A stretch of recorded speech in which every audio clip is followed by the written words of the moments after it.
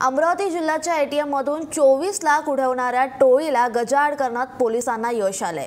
ATM कार्डाचा क्रमांक घेऊन बावीस जणांच्या बँक खात्यातून तब्बल चोवीस लाख रुपये परस्पर काढण्यात आल्याच्या घटना गत काही महिन्यांपासून घडल्या होत्या आणि गुन्हे शाखेच्या पोलिसांनी त्या टोळीतील तिघांना शुक्रवारी अटक केली आहे. एका आरोपीला यापूर्वीच ताब्यात घेतलं होतं. विशाल तुळशीरात उमरे हरिदास हरकिसन बिश्वास आणि किसन लालचंद्र यादव अशी या तीन आरोपींची नावं आहेत.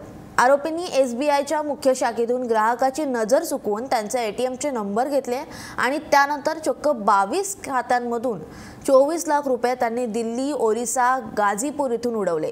आरोपी हरिदास या टोळीतील प्रमुख जितेंद्र कुमार याच्याकडे bogus A T M card बनवत होता. हरिदासला तीस टक्के कमिशन दिलं जात होतं. कार्ड देणाऱ्याला चाळीस टक्के कमिशन मिळत होतं.